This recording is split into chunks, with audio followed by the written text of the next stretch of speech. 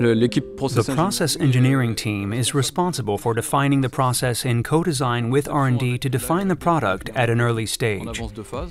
Then implement it in the factory and train operators until the product goes into series manufacturing.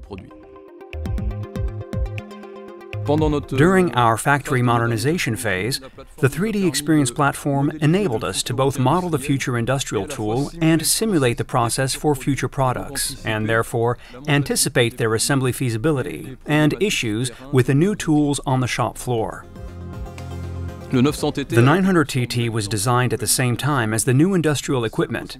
The only way was 3D. That enabled us to validate everything in 3D and go directly to pre-series on the new assembly line and design the product first time right. Since adopting the 3D Experience platform, we have reduced the number of product redesigns due to process issues. We can better anticipate and optimize our process to standardize it with serial products and prepare operators' training. With digital continuity improvement, we avoid data duplication and enhance the quality and transparency of information.